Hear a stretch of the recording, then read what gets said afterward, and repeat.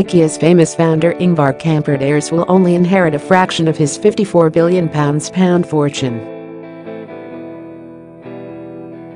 The 91-year-old, who died last month, was one of the richest people in the world thanks to the success of his flat pack empire. The frugal businessman was ranked 8th on Bloomberg's Billionaires Index with a fortune of around £54 billion.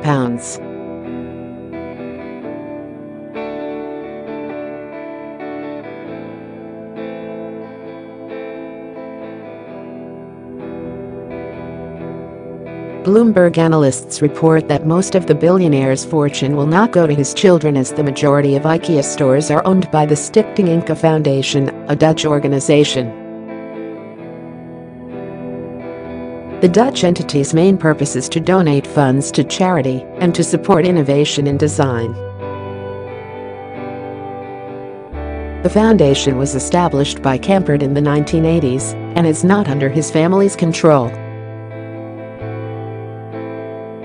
It is in fact controlled by Liechtenstein-based Interogo Foundation, and its subsidiary, Inter IKEA is the global IKEA franchisor.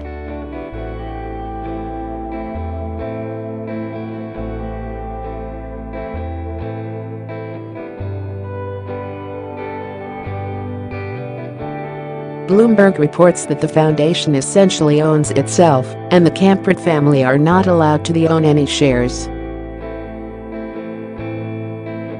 The unique and complicated structure of the company was devised to ensure IKEA's long-term survival. The structure also makes it impossible for any individual, even of direct heir, to take control if the company upon Kamprad's death While Kamprad's family members will not have any control over the IKEA company, they will still receive modest payouts from the Ikano Group, which is worth billions in its own right. Ikano Group is owned by the family, and a number of financial real estate, manufacturing and retail businesses operate under it. Ingvar Kamprad started the Swedish furniture company in 1943 when he was just 17 and sold replicas of his uncle Ernst's kitchen table.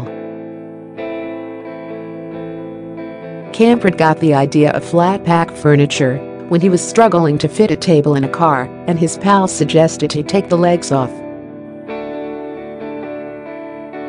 The company has since become one of the biggest in the world with more than 300 stores in 28 countries. Kamprad resigned from the board in 2013 when he was aged 87 and died peacefully at his Småland home last month, aged 91. Despite his incredible fortune, the enigmatic entrepreneur was described as stingy and disagreeable and heavily criticized for tax avoidance and his links to the Nazis. The frugal Swede flew economy, stayed in cheap hotels, drove a Volvo he had owned for 20 years, and wore clothes bought from flea markets.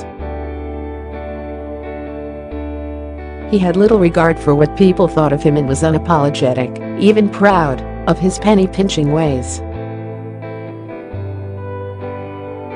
While his tightness with money made him notorious around the world, it was his links to the Nazis that dealt a more serious blow to his reputation.